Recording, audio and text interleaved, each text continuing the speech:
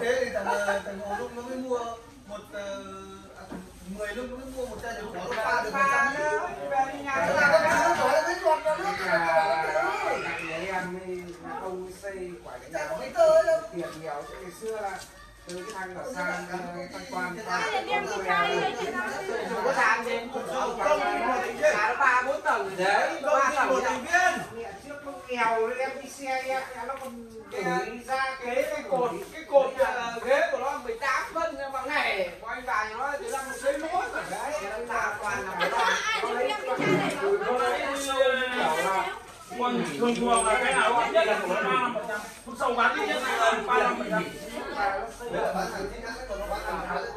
sáu mươi phần trăm nó là nó giờ nó như này này ai cửa không ra là biết là cái bảo cái chuyện thắng này là nó độc quyền để ăn rất nhiều lại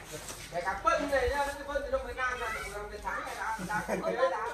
bởi vì nó là nó ăn bao nhiêu nó lên bốn phần bốn độc quyền Cái con quế đắt nhỉ? Vừa rồi cân ông còn bảo mua ba mà ba nghìn cân tại chỗ mua mà bao trong ba mươi cân là chín mươi nghìn được cái con con rơi với con voi. Để miêu nhiều lần phải là hai chục lần đã khỏe các bạn không vẫn thiên còn đất phần ít đất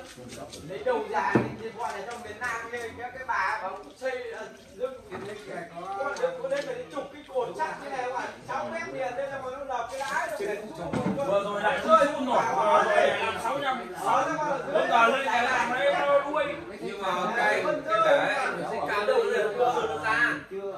giờ rồi giờ rồi nó ra Không tạc ở đây là xây cao lên đây ba nó là ra sáu trăm. Vâng. Một cái Lắm một bao mày cho tao chiều run nó rớt trên mặt cho nó ở đấy toàn run rồi Có người anh em